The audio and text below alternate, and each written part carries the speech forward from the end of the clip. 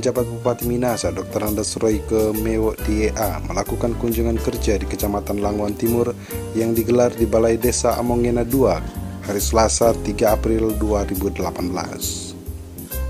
Mewok yang didampingi pejabat Pemkap di antaranya Kaban Kepegawaian Dr. Andes Melki Rumate, Kadis Kebudayaan dan Pariwisata Agustifo Tumundo, Kadis Pemuda dan Olahraga Sibi Sengke dan sejumlah pejabat dalam sambutannya berterima kasih kepada hukum tua serta tokoh agama dan masyarakat yang boleh menyempatkan waktu hadir dalam kegiatan ini karena ini merupakan tatap muka pertama dengan pemerintah Kecamatan Langwan Timur.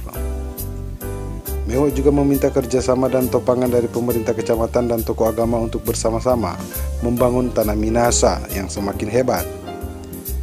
Ia juga berterima kasih kepada insan pers yang boleh hadir karena insan pers sehingga program-program pemerintah dapat disosialisasikan kepada masyarakat.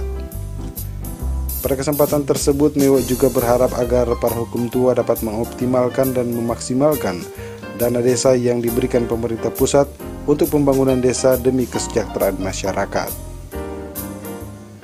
Kehadiran kita semua di sini menunjukkan bahwa kita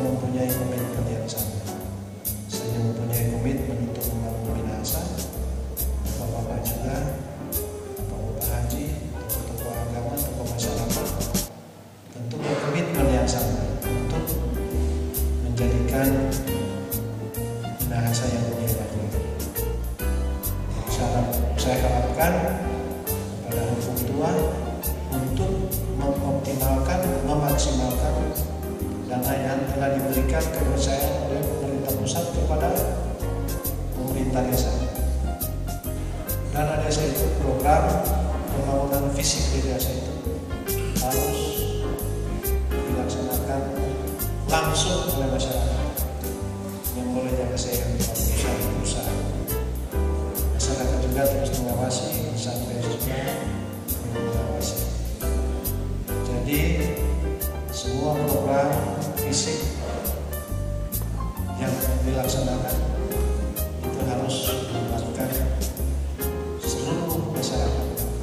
Tinggal teknisnya bagaimana agar uh, semua masyarakat bisa merasakan berkat yang diberikan pemerintah pusat.